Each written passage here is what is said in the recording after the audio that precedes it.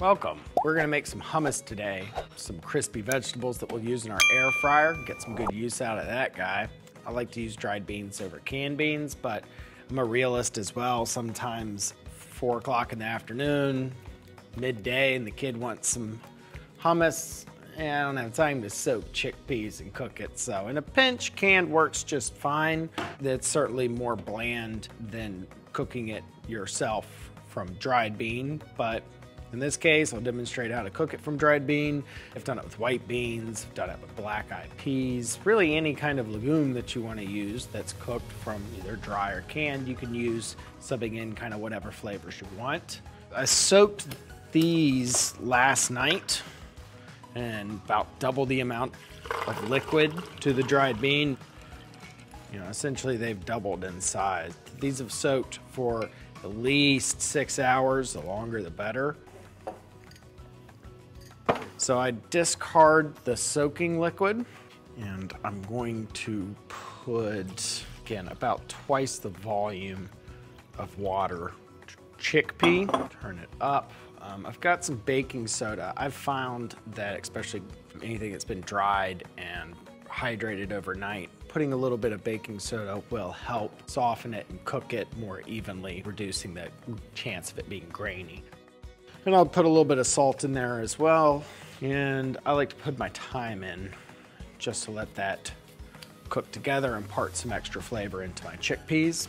So while that's working, I'm gonna cook my garlic whole cloves and a little bit of olive oil, kind of infuse my oil with the taste of the garlic as well as softening the garlic. It's more enjoyable, I find, to like have that softened cooked sweetness of the garlic instead of just that raw punch that you get in hummus. So I want at least a quarter of a cup of oil in there because I'm gonna use that oil to stream back into my hummus while I'm blending it, get it nice and creamy. We're gonna get our air fryer going and cook off some of our vegetables. I've got a couple of green veggies and asparagus and green beans. The cook times on that should be pretty much identical. And I've got a, a, little bit of butternut squash that I had left over that I cut up. That'll take a little bit longer. I'm gonna set it 400 degrees. So we'll do green beans first. Just a touch of oil. A little salt, a little pepper. A quick spray, just to make sure it doesn't stick to my trays. Salt. Pepper. Give it a little toss. Lay them out as well. Just want them nice and evenly spaced.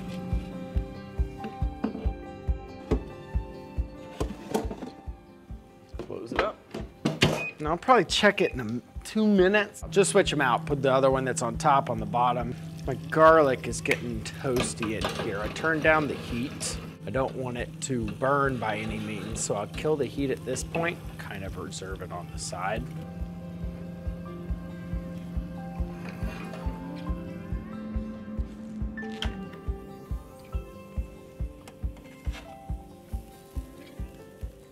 Nice, get nice and crispy. Get my butternut squash evenly spaced out. Remember, you don't want it really touching. You want as much air to circulate as possible to get it crispy all the way around. Also, we'll kind of stop it and move them around as we're cooking them as well. So let's get these popped in.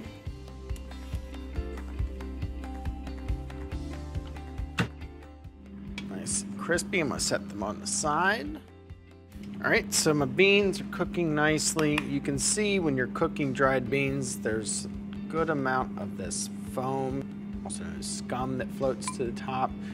You just want to get it skimmed off the top of the surface as much as you can. A lot of the times bad beans float to the top as well, so if I see any at the beginning that kind of float to the top, I'll remove them as well. My oil's turned down a good bit. It's definitely cooler to the touch. I'm gonna add in my paprika and just give it a little swirl for now. And I'll just let that steep off heat. It'll impart all the flavor in it. That'll be a wonderful little oil to blend into it. Beans a stir, see kind of where we stand. Mmm, we're getting pretty close. Thyme's kind of falling apart a little bit. I'm just probably gonna go ahead and pull it out so I don't have too much of a mess on my hands. Give that about five more minutes and I'll check that. We'll check on our sweet potato fries.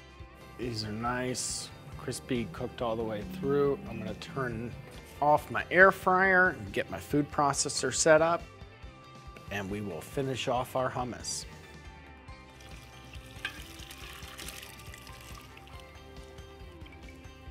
All right, chickpeas. They should easily split in half. Very tender when you bite into them, but they shouldn't be disintegrating. They should have a little integrity left to them. Cooking it with a little bit thyme and salt really impart some wonderful flavor into it. So we'll go ahead, we'll get these tossed in. I'm gonna take my cloves of garlic that roasted over here and I'm gonna toss them in as well. Zest lemon. I'm gonna add lemon juice later, just try to maximize all my product.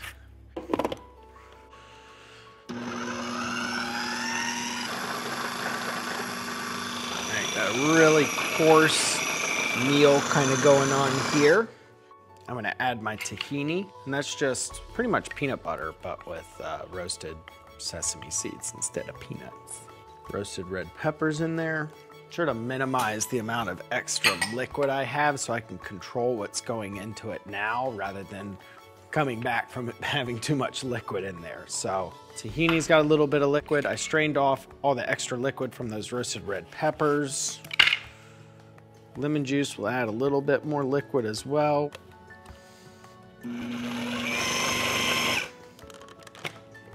Starting to get there. So add a little bit of ice water. I'll put a tiny bit of my oil in. Nice, beautiful paprika oil. And then we'll stream the rest of those in. Create a nice, emulsified, delicious hummus.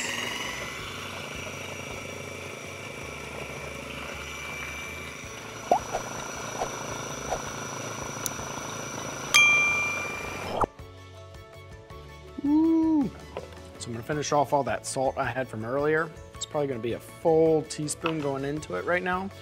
And a touch of pepper. And we're just gonna blend this until it's super, super smooth, maybe three more minutes. All right, nice and smooth.